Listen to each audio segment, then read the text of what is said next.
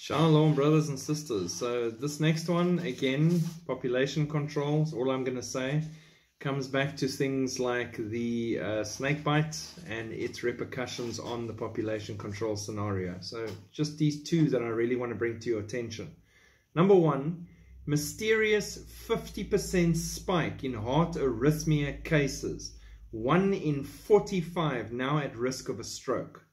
The British Heart Foundation conducted an analysis using data collected from the National Health Service, which for the first time ever concluded more than 1.5 million Brits, along with another 270,000 Brits that are undiagnosed, suffer from this mysterious heart disease.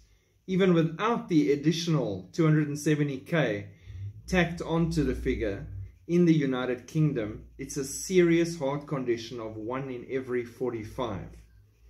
So, in other words, 1 in 45 people is in risk of developing serious blood clots that could cause debilitating or deadly strokes. The figures show a quite astonishing rise in the number of people diagnosed with atrial fibrillation.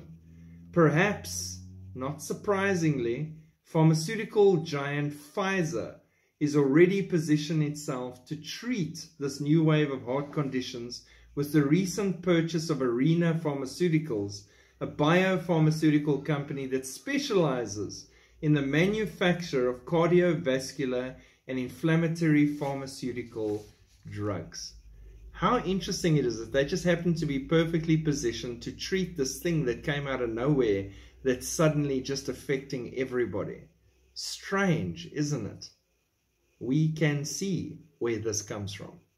And they will answer before God. God bless. Keep looking up. Shalom.